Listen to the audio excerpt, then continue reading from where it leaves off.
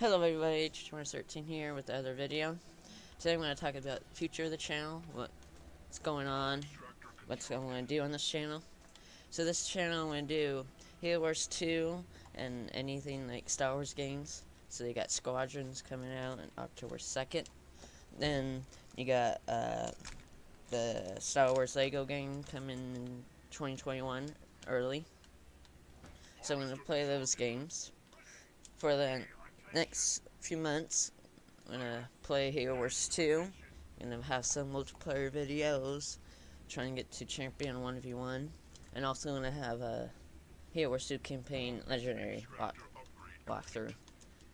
So that's to be the plan. So yeah, that's all I got today. And it's also future videos might come a little bit later because right now I'm gonna have a wildfire. You might get evacuated, so I'm gonna show two images up. But yeah, that'll be it. See you all later.